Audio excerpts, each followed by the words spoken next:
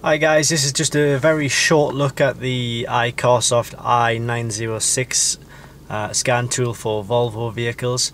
Um, just going to go into the uh, the diagnose section here. Obviously it's for Volvo vehicles. I'm just going to scroll through the uh, the vehicles which it will cover.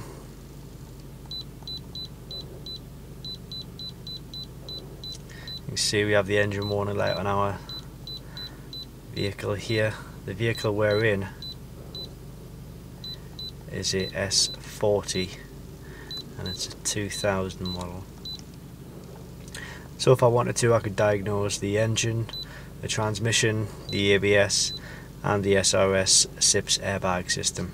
Um, and it's uh, it's good for all these systems on all the Volvo vehicles so it's um, it's well worth the investment instead of taking it to a garage every time to find what the fault is especially if you have an older vehicle which is more prone to uh, getting the engine warning light on the dashboard.